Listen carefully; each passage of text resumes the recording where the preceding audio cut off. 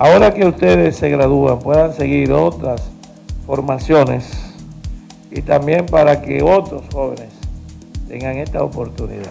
Felicito a los graduandos, animo a los patrocinadores de esta experiencia a no cansarse, a no cansarnos y a seguir trabajando, como quiere el presidente Luis Abinader, por un país mejor.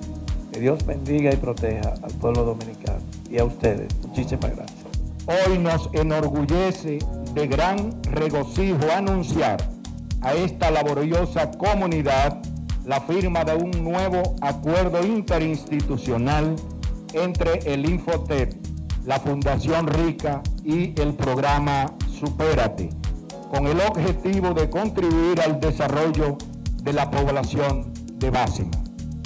Confiamos en que la colaboración de estas tres entidades permitirá a los participantes adquirir la formación requerida para generar mayores oportunidades de empleo que redundarán en mejores ingresos y promoverán la participación activa de la comunidad.